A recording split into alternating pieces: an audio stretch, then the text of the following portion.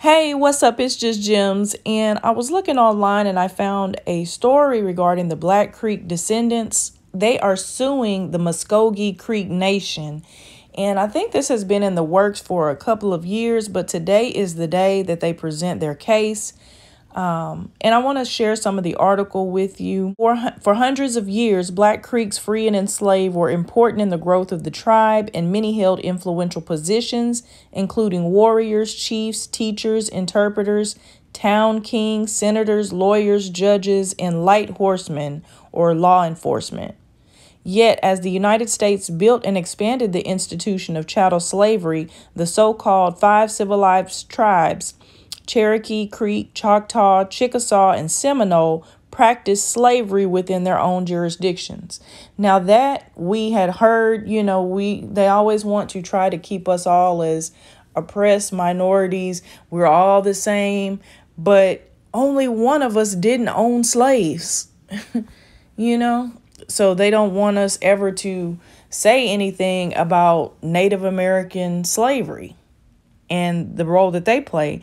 But actually, they were so cold with it. The Muskogee, they um they didn't even release their slaves in 1865. That's why they had the Treaty of 1866.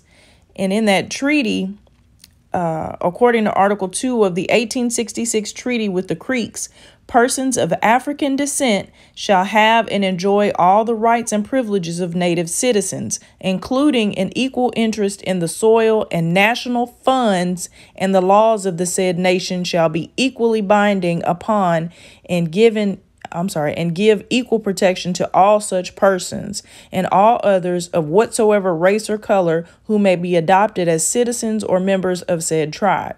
So they're definitely in violation of this treaty, in my opinion, based on that information there.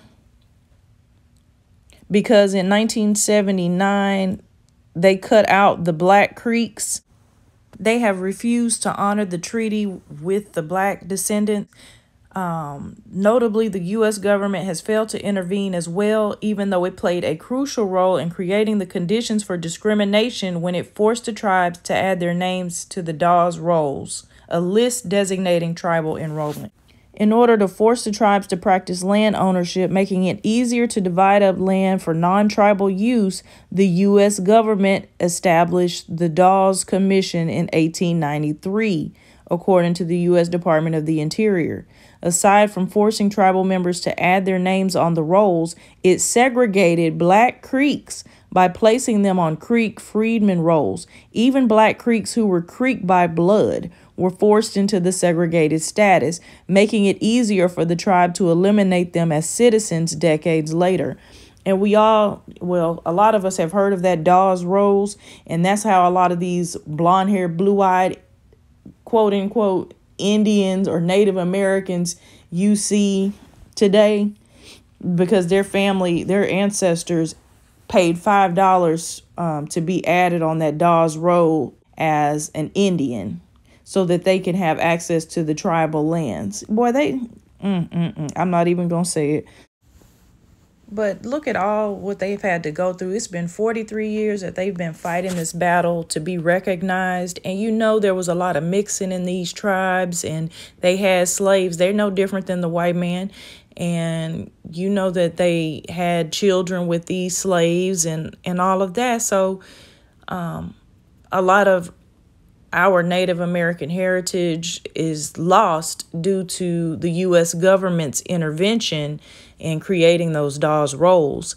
I truly hope that the descendants do get what they are owed because it, it's not right. They played a major, their ancestors played a major role in the tribes, it sounds like, and also they were on the Trail of Tears. You don't hear too much about the black people that were on that Trail of Tears marching down to Oklahoma. They talk about the Native Americans, but they always want to keep us to where we're on the same level playing field. We're all minorities. We were all done wrong. but in actuality, some were done worse. But let me know what you think in the comments. Make sure you hit the like button before you go and subscribe to the channel if you haven't already. And until next time, peace.